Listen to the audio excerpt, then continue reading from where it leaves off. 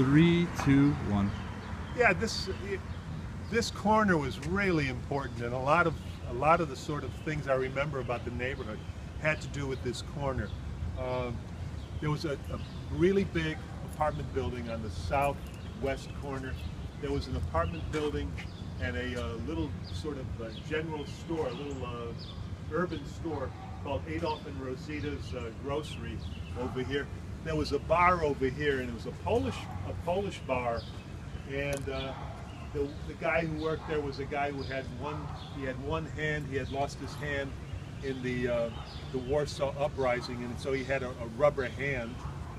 Uh, he was over here and my dad my dad liked to drink and on Saturdays he would oftentimes come here to get a drink on Saturdays and on Sundays after church my father would come to this bar at 12 o'clock every Sunday to get his free Sunday drink the bartender gave everybody a free, one free drink on Sunday after the open, the Sunday drink.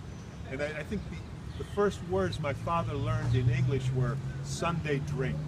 Uh, he had a, it was part of his uh, Sunday tradition.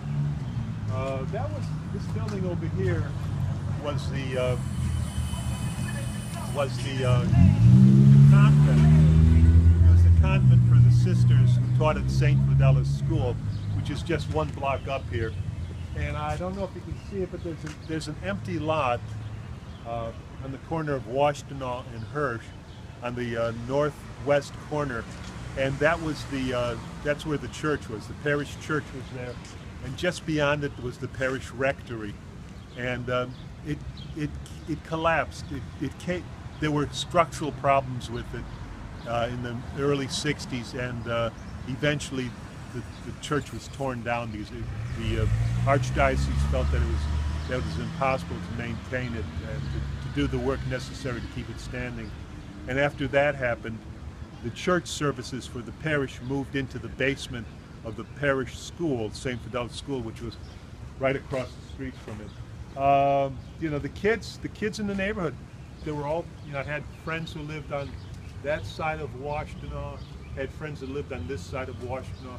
Uh, my friend Jan Lorys, uh, who had, was previously the director of the Polish Museum of America, uh, lived in, I can't remember which of the houses, when, but it was either the first house or the second house there, off the corner.